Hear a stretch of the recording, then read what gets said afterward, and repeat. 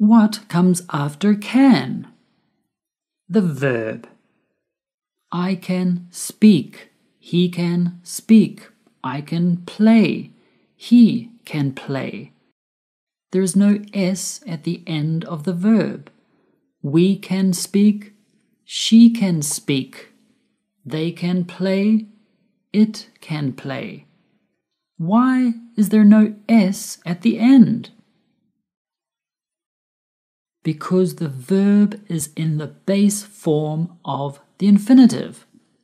The infinitive is to go, to need, to speak, to live.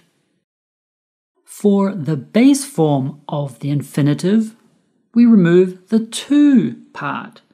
I can to go? No, I can go. Let's look at this example.